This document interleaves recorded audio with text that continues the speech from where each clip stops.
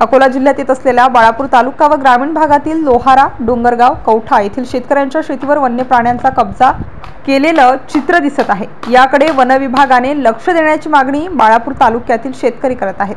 शेतकरी शेतात दिवसभर काम करतात परंतु सायंकाळी वन्य प्राणी शेतात घुसून नासाडी करीत आहेत. हरणांच्या कळपाचे हे दृश्य मनोहारी वाटत असले तरी इथल्या शेतकऱ्यांची मात्र या कळपामुळे भीती व चिंता वाढली आहे. बाळापूर तालुक्यामध्ये सध्या हरणांच्या कळपांचा शेतीत वावर वाढला आहे.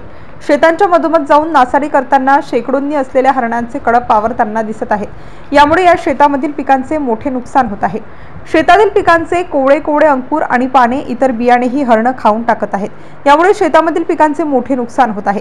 सध्या अल्पसा पाऊस कमी असल्यामुळे शेतकऱ्यांवर दुबार पेरणीचेही संकट येते का? हा प्रश्न पडला आहे. या सर्व गोष्टींचा विचार करताना आता शेतकऱ्यांवर नवीन संकटामुळे या भागातील शेतकरी हवालदिल झाले आहेत. तरी वन्य विभागाने लक्ष देऊन शेतकऱ्यांचे संकट दूर करावे असे शेतकरी मागणी करत आहेत. एम सी एन न्यूज मराठीसाठी संतोष मोरे बाळापूर.